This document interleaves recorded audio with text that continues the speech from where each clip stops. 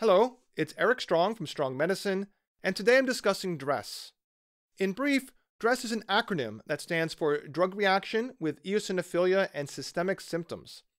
In short, it's a severe, potentially fatal drug reaction with prominent skin manifestations and which can cause multi organ failure.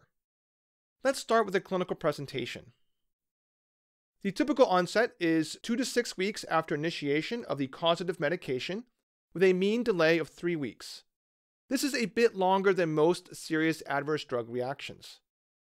The most readily apparent clinical manifestations are those of the skin, which can take a very wide variety of different appearances, including a morbilliform maculopapular rash. The word morbilliform literally means a rash that looks like measles. Other possible skin manifestations include pustules and vesicles, facial edema, erythroderma, which is a diffuse generalized inflammation of the skin, and purpura.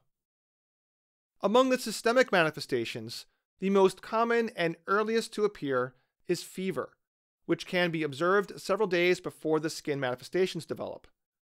Others include lymphadenopathy, various hematological abnormalities, including eosinophilia, leukocytosis, and the presence of atypical lymphocytes, and most notably, DRESS can cause organ dysfunction, roughly in decreasing order of prevalence, liver, ranging from modest LFT elevation to acute hepatic failure, kidneys, including asymptomatic proteinuria, interstitial nephritis, and kidney failure, lungs, including pneumonitis and ARDS, and the heart, manifesting as a myocarditis.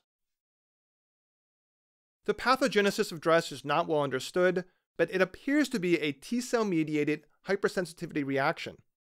DRESS has been strongly associated with the reactivation of viruses from the herpes viridae family, particularly HHV6. However, the specific nature of this association is unclear. Regarding which meds can trigger DRESS, the most commonly implicated include allopurinol, aromatic anticonvulsants, which include phenytoin and carbamazepine, among others, sulfonamides, including Bactrim and sulfasalazine, the antibiotic vancomycin, and the HIV medication nevirapine. Other less commonly reported meds include beta-lactams, NSAIDs, dapsone, omeprazole, olanzapine, and fluoxetine.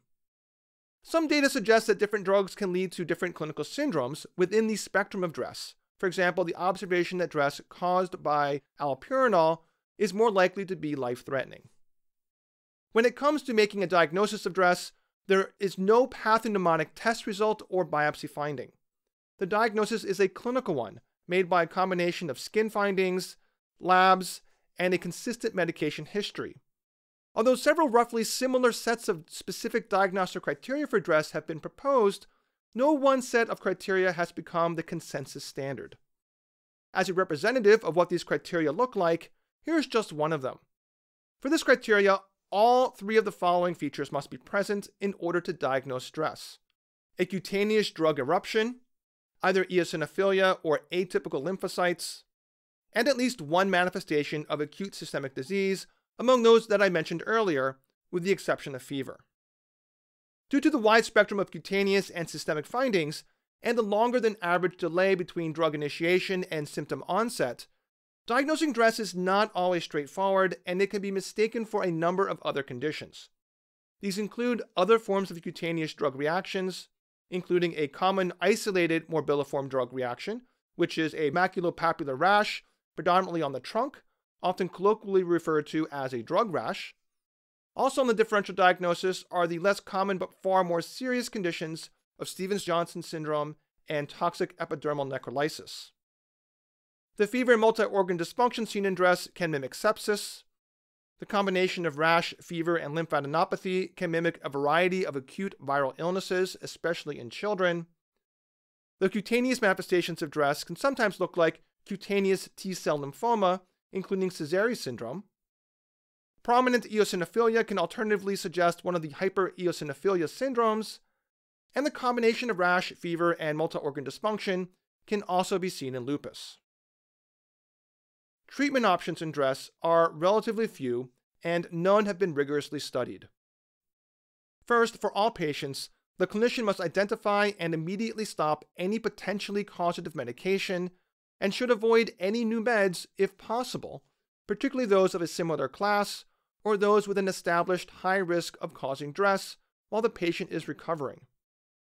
If the patient has mild to moderate cutaneous manifestations with or without mild LFT elevation and no other organ dysfunction, topical steroids for symptomatic relief is typically all that's necessary beyond medication cessation.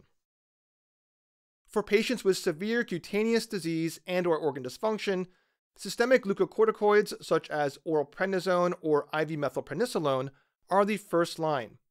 If that's insufficient, then cyclosporine and or IVIG can be tried. I'll end with prognosis. The mortality rate from DRESS is a non-trivial 5 to 10%. The mechanism of death is most commonly reported to be liver and or cardiac failure. Among survivors, full recovery takes an average of 6 weeks from cessation of the causative medication. During recovery, relapses are common, often triggered by the tapering of steroids. And even after full recovery, patients remain at an increased risk of recurrent DRESS, including that triggered by meds which are structurally dissimilar to the original culprit.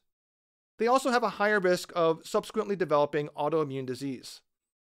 Whether these increased risks are because of a common genetic susceptibility to both autoimmune disease and DRESS in general, such as HLA polymorphisms, or whether they are the result of a permanent alteration to their immune system caused by the original DRESS episode, is unclear.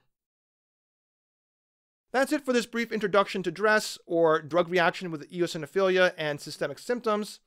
If you found it interesting or helpful, please consider subscribing to Strong Medicine and checking out other videos in this series on underappreciated diseases.